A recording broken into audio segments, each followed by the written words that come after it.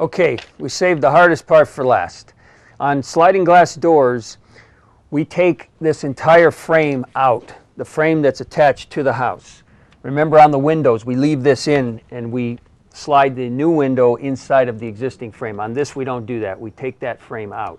So when you measure, it's a little bit different.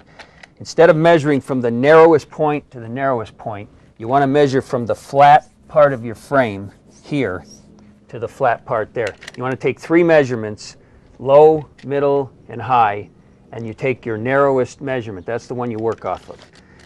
Okay, let's start down low. Okay, I've got 94 and a quarter.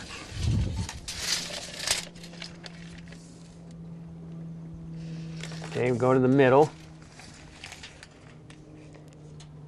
And I've got 94 and a quarter.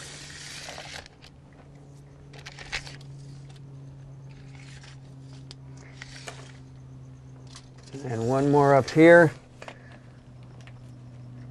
94 and a quarter. So this is straight. Okay, now we got to measure the height. Same thing, we want to go from the flat part here, up here, down to where the track meets the ground. Let's start over here in the corner.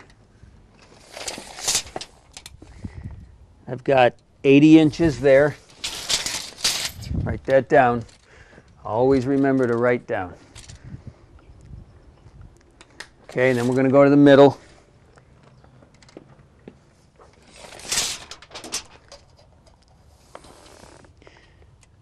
Okay, I'm a little little shorter here. I'm 79 and 13 sixteenths. There's a there's a wood header up here. When you get wide doors like this, eight foot wide, sometimes this header has a tendency to sag, and your middle measurement will be shorter than the ends. That's what I have here, about 3 sixteenths. Let's just take one more here to check this corner.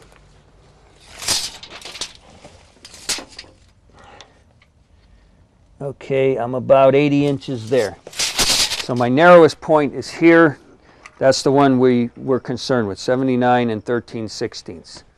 Okay, what we came up with here is on the width, 94 and a quarter. Our narrowest point on the height is 79 and 13 sixteenths.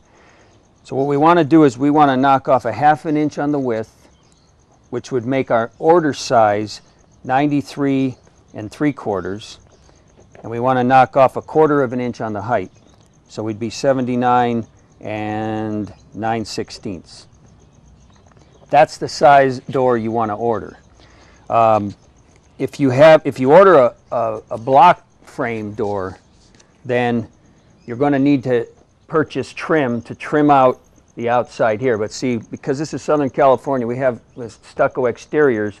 We're going to, once again, have the retrofit lip, which will go over the stucco. If you don't have this type of an exterior, if you have siding, then you need to order the block frame at this dimension and then trim out the inside.